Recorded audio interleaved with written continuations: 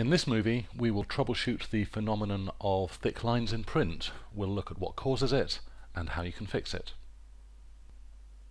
Starting from a drawing like this, when we go to print it, whether to hard copy or to PDF, what we'd expect to see would be output like this. So this is a PDF file being viewed in Adobe Acrobat Pro DC. What some users report is that they see a drawing that looks like this. As you can see, the lines are way too thick. Well, it's very easy to fix. In StarDraw Design 7, under Tools, Personalization, Settings, there is a value here called Minimum Printed Line Width, and the default value is 0.1 of a millimeter. The reason we have minimum printed line width is because in today's very high resolution printers, which might support a resolution of say 1200 dpi, a hairline or a zero width line would be printed at 1 12 hundredths of an inch thick.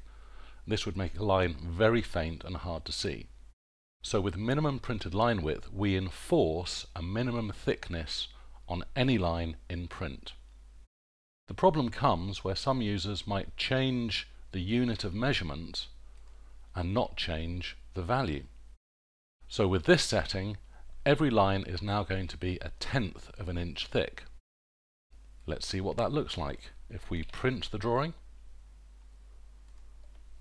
give it a file name, block schematic, and wait for the file to be created. There it is. Now we open this and that is the bad result, thick lines in print. If you do want to use inches in your minimum printed line width setting, the recommended value is about 3 thousandths of an inch. So now let's take a look at the result of this. Again, we print, we'll call the drawing block schematic 01.